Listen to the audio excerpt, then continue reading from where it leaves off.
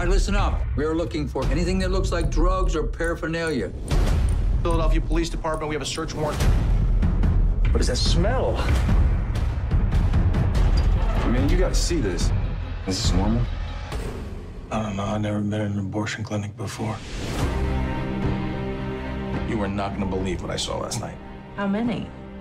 So far, we found over 30 of them. Healthy woman goes into a clinic, comes out dead, and there's no police report? Files have been moved recently. Look at this. You'll be the prosecutor who went after reproductive rights, and you'll be a racist to boot. You've got a lot of folk who'd like to see abortion outlawed. And this is not going to be the case that gives them an excuse. Prosecution has offered you a plea bargain, Dr. Gosnell. Then I would have to admit I was guilty. I'm not guilty.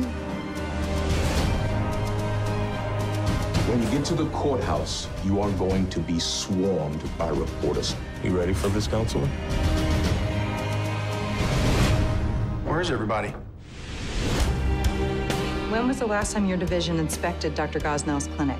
We had instructions directly from Governor Ridge's office not to inspect. Wouldn't testify in that case about anything. You doubt you'll find a doctor who will.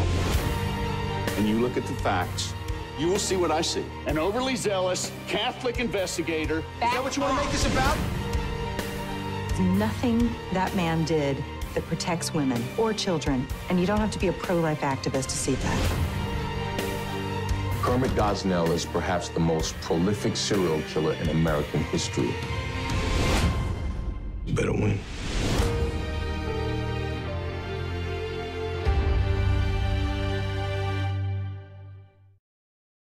Subscribe now and click on the bell to not miss the new trailers.